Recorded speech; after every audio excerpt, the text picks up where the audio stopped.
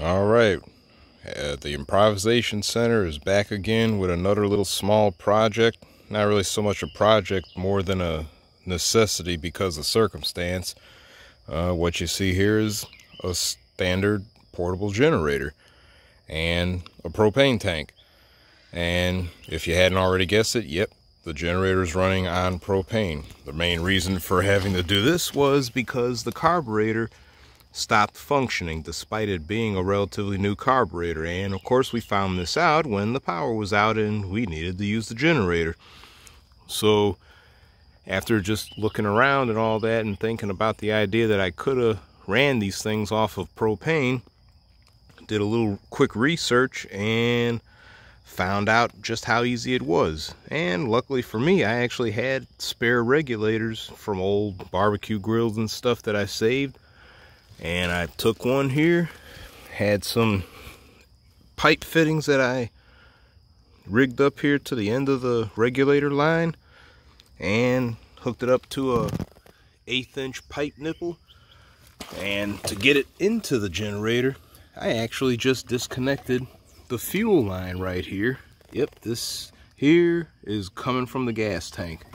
We aren't using gas but it's going right into the poured on the carburetor so when we turn the propane on propane is going to actually run through the carburetor and into the intake of the engine in order to allow it to run. Now there's a little bit of a procedure to start this thing up. I have to turn the gas on relatively low because it won't start. It'll literally flood out. And if it does start we'll have a fireball. But we don't want fireballs here so we're gonna do this the right way. So we're gonna go ahead and turn the gas on. The regulator also has to be at a certain point for it to run optimum. But we're gonna get the gas going. Got a little bit of gas. You can hear it. Choke is open. And As you can see, the thing is running. So,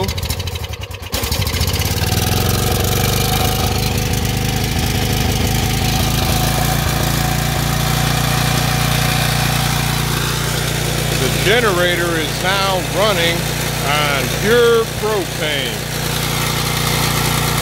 As you can also tell, it runs pretty smooth. You can also notice I never had to put the choke on either. It started up immediately.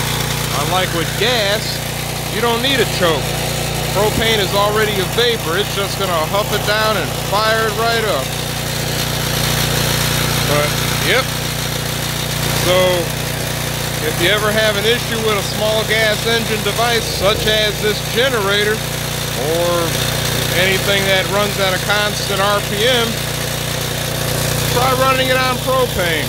It's pretty easy. You got a spare regulator, some fittings, you can get this thing running real quick and dirty, as you can clearly see. So, yep, that's enough running this loud thing. I'm going to turn it off by just killing the gas.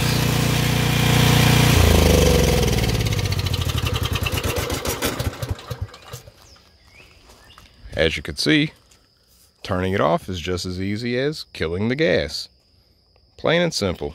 But, yep, quick little project, something to give you an idea if you have any old small engine devices out there that have bad carburetors or if you just in an emergency need to run something and don't have a means of repairing it the right way.